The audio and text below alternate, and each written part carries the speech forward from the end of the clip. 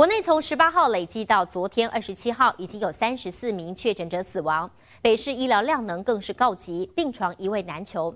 就有里长站出来为李明发声，因为一位七十一岁男子是新冠肺炎的重症患者，送医之后没有及时救治，恶化到需要使用叶克膜。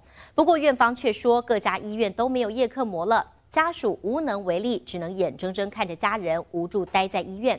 还爆料说现在要进去急诊，院方都会要求签署放弃急救。而中校医院回应说，院内本来就没有叶克膜，真正有需要的病患他们会协助转院。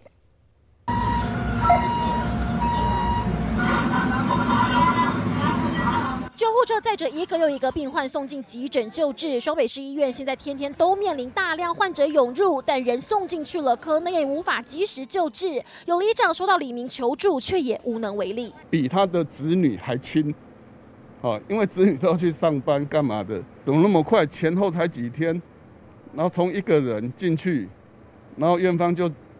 准备叫他躺着出来了。里长出面讲到哽咽，因为一名七十一岁确诊李明情况危急，他二十一号呼吸急促就医，快筛阳性，家属等不到病房，也打不进一九二二。两天后确诊，总算顺利排到病房，但二十五号这名男子病情急转直下，医院却说没有叶克膜，家属求助无门，被迫放弃急救。但是我的李明，一个人就是一条命，我看的不是术士，我看的是命。